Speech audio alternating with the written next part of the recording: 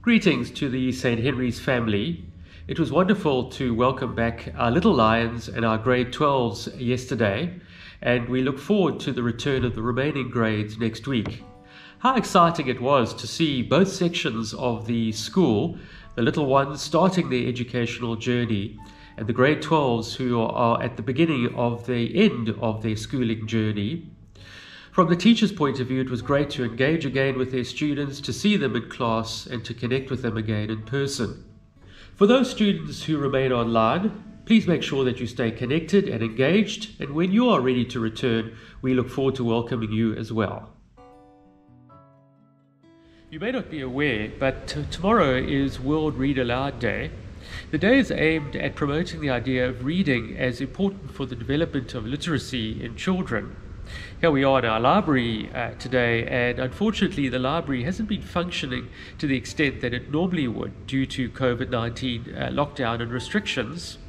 Hopefully, though, in the next few weeks and months, it will be back to its normal operation, and so we'll be able to provide that important skill and resource so needed for learning. We look forward to the library opening again in due course, but in the meantime, please do celebrate World Read Aloud Day.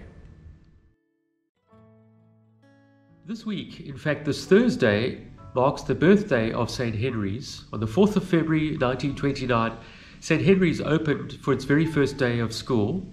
So it's 92 years of education in Durban that we celebrate this week. The American poet Emily Dickinson reminded us that we turn not older with years, but newer every day.